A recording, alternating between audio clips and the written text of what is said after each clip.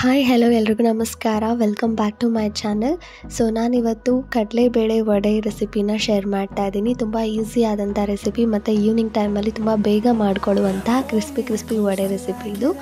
So ಮೊದಲಿಗೆ ಕಡಲೆಬೇಳೆನ ನೆನೆಸಿಟ್ಕೋಬೇಕಾಗುತ್ತೆ ನೀರಲ್ಲಿ. ನಾನು ಕಡಲೆಬೇಳೆ ಜೊತೆಗೆ ಅಕ್ಕಿನ ಕೂಡ, ಸ್ವಲ್ಪ ಅಕ್ಕಿ ಕೂಡ ನೆನೆಸಿಟ್ಕೊಂಡಿದ್ದೀನಿ. ಇಲ್ಲ, ಬೇಡ ಅಂತಂದರೆ ಕ ಅಕ್ಕಿ ಪೌಡರ್ನ ಕೂಡ ಲಾಸ್ಟಲ್ಲಿ ನಾವು ಮಿಕ್ಸ್ ಮಾಡ್ಕೋಬಹುದು. ಕ್ರಿಸ್ಪಿಯಾಗಿ ಟೇಸ್ಟ್ ಬರಬೇಕಲ್ವಾ ಅದಕ್ಕೆ. ಸೊ ಆ ಕಡಲೆಬೇಳೆನ ನೀಟಾಗಿ ಮಿಕ್ಸಿ ಜಾರಲ್ಲಿ ಹಾಕ್ಕೊಂಡು ಮಿಕ್ಸಿಯಲ್ಲಿ ಗ್ರೈಂಡ್ ಮಾಡ್ಕೋಬೇಕಾಗತ್ತೆ.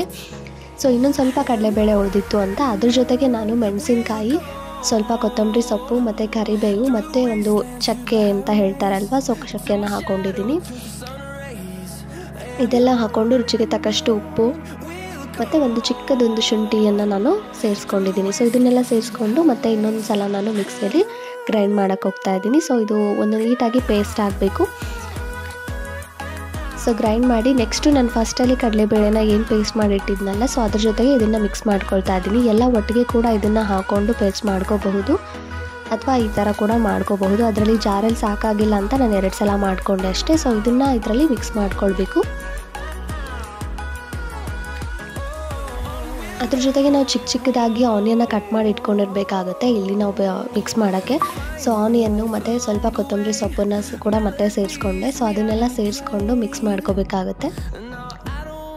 ಸೊ ಚಿಕ್ಕ ಚಿಕ್ಕದಾಗಿ ಆನಿಯನ್ನ ಕಟ್ ಮಾಡಿಕೊಂಡ್ರೆ ಇನ್ನೂ ಟೇಸ್ಟ್ ಇನ್ನೂ ಚೆನ್ನಾಗಿ ಬರುತ್ತೆ. ಸೊ ಅದನ್ನೆಲ್ಲ ನೀಟಾಗಿ ಮಿಕ್ಸ್ ಮಾಡ್ಕೋಬೇಕು.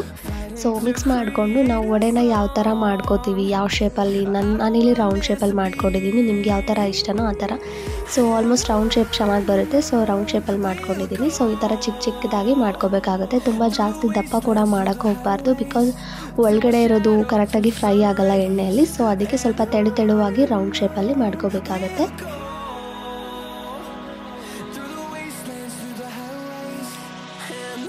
ನೆಕ್ಸ್ಟು ನಾನು ಗ್ಯಾಸ್ ಆನ್ ಮಾಡಿಬಿಟ್ಟು ಪ್ಯಾನಲ್ಲಿ ಎಣ್ಣೆನ ಹಾಕೊಳ್ತಾ ಇದ್ದೀನಿ.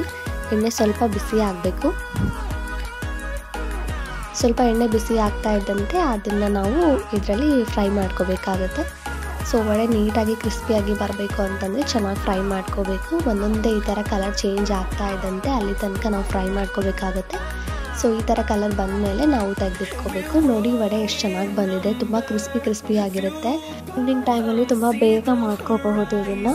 ಸೊ ವಿಡಿಯೋ ಇಷ್ಟ ಆಗಿದೆ ಅಂತ ಅಂದ್ಕೊಂಡಿದ್ದೀನಿ ವಿಡಿಯೋ ಇಷ್ಟ ಆಗಿದ್ದಲ್ಲಿ ಲೈಕ್ ಮಾಡಿ ಕಮೆಂಟ್ ಮಾಡಿ ಮತ್ತು ಸಬ್ಸ್ಕ್ರೈಬ್ ಮಾಡೋದನ್ನು ಮರಿಬೇಡಿ.